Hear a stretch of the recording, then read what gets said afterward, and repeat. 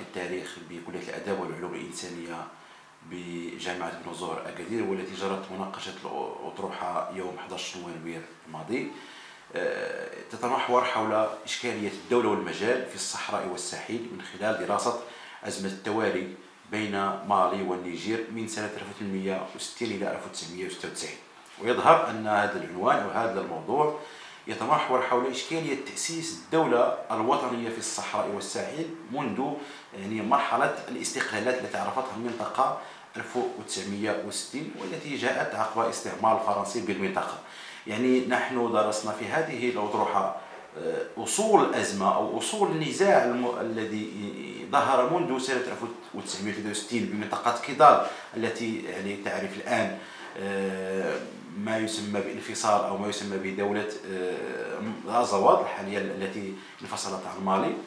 اذا فدرسنا أصول الأزمة وتمظهراتها وكيف تم تأسيس الدولة وكيف تم يعني تفكيك المجال ورسم الحدود وكيف يعني ظهرت ما يسمى بالأحزاب الوطنية وظهرت الخطاب الوطني انطلاقا من 1944 إلى 1960 سواء في مالي أو في النيجر وبعد تأسيس هذه الدول تطرقنا إلى يعني مظاهر الأزمة وأسبابها. النزاع المسلح الذي بدأ 1963 إلى 1990 1994 ف آه، يعني آه، الموضوع يكتسي أهميته من خلال الراهنية من خلال الجده والجديد يطرح قضايا جديدة من زوايا أخرى جديدة في البحث العلمي التي نحتاج إليها في المغرب.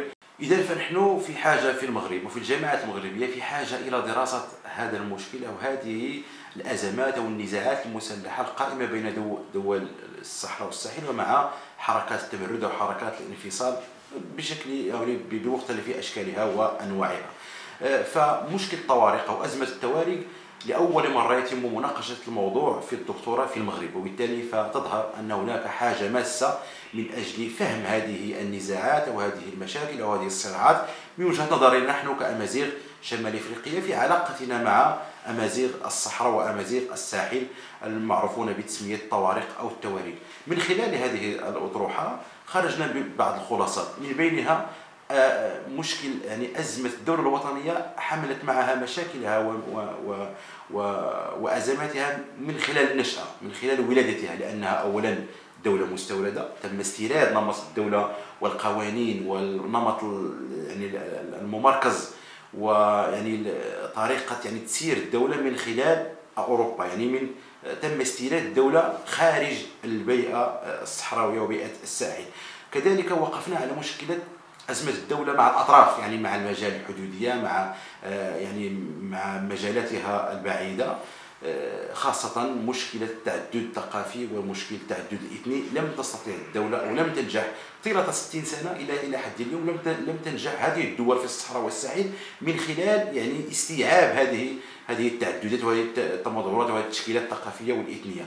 كذلك وقفنا على مشكل الجيش والحزب الواحد مثلا في مالي حكم موديبو كيتا منذ 1960 إلى 1860 1968 حكم ثمان سنوات بحزب واحد وعن طريق الجيش. وبالتالي وقع في ضحية انقلاب عسكري. كذلك شأن في في في النيجير آه، ديورو حماني كذلك. حكم بقبضة من حديد بحزب واحد اشتراكي وهي كلها أحزاب اعتنقت الإيديولوجية الاشتراكية والخطاب القومي الإفريقي إلى إلى آخره. هو الآخر حكم ما يناهز 14 سنة آه، بقبضة من حديد وسقط هو الآخر انقلب عليه الجيش. وبالتالي فالدولة القطرية في الصحراء والساحل اعتمدت منذ البداية على الجيش وعلى حزب الواحد وعن الذي يعني يتأسس على آه، الاستبداد السياسي والإداري والعسكري. كذلك طرحنا مشكل التدخل الأجنبي الإقليمي من خلال تدخل الجزائر بوجود تواريخ في جنوبها وكذلك من خلال آه، المباشر في النزاعات المسلحة لنظام القذافي. آه، وكذلك يعني طرحنا إشكاليات تتعلق بطبيعة هذه الدولة القطرية. وشكرا.